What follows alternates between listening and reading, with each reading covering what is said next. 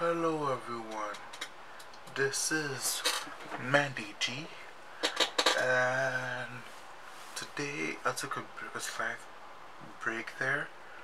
Today I will be talking about the movie Dune that just came out. Um, it's a movie with Timothée Chalamet and Jason Momoa. It came out I think on the 21st. I saw it this past week. Um, and here's my initial thoughts about this movie. It may be controversial, but this movie was very boring.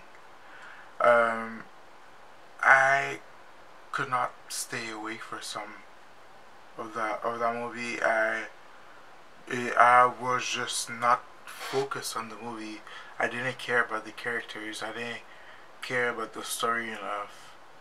It didn't intrigue me like uh, those did that type of movie would eventually because I'm a huge fan of the fantasy slash uh, political like, world of Game of Thrones. It, and this movie was just aesthetically visually pleasing and the music score was amazing but other than that it was just boring. Um, the plot was just not good. The um the yeah it's just not it was just not my cup of tea. Um, this movie would not be uh, would not be watchable for people that are not go hard moviegoers or people that that um, they already know about the world of Dune. They watched the previous uh, was a TV show, a movie that that that Dune that Dune was based on. They know the books. They know everything about it already. That's what Dune is for. For was shot beautifully, but it just was boring for the normal moviegoer. And don't get me wrong, I usually enjoy watching uh, movies like this. Uh, I'm studying film, but even then, that that it was just too boring. Um, unless I would be able to watch the sequels.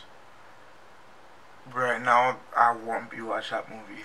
I won't go through another two hours um, to watch that movie again. Um, the only characters that I liked were Timothy Chalamet's character and Jason Momoa's character. Other than that, I don't remember anything about the other characters. Like, I was only really sad about Jason Momoa's character when he was dying. I don't remember the name of the character. I only remember one was named Paul. And I think it was Timothy Chalamet's character. Um, so, yeah, you, you, you should still go watch it just for the experience. But don't watch it as like a family movie. Unless your family is a very big fan of Dune, then watch it. But don't like just like a normal movie night pick Dune as a movie to watch. I will not recommend that. Um, I watched it because I wanted to. I want it. The trailer got me excited for it. Even though I, I didn't know anything about this movie, the trailer got me excited for it which is usually a hard thing to do unless I know something about the, the movie. Um, I usually don't get excited for it, but the trailer got me really excited for it. It was a good trailer. Must be because of, it, it must be because of Timothy Chalamet, Jason Momoa, and Zendaya all being in the same movie together.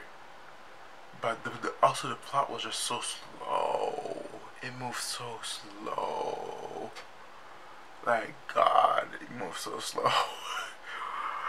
um, but yeah, that's all I have for you guys today.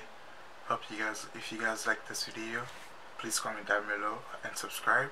Tell me if you guys uh, watched this movie and what you think thought of it. I would give this movie a good 2.5 slash 3 out of 5. Just because it's, it's a more visual, like this would be a good movie to show in my like cinematography class just because of how eh, pleasing the visuals were. Like I was in awe. But yeah, that's all I have for you guys today. Hope you guys like it. See you guys next time.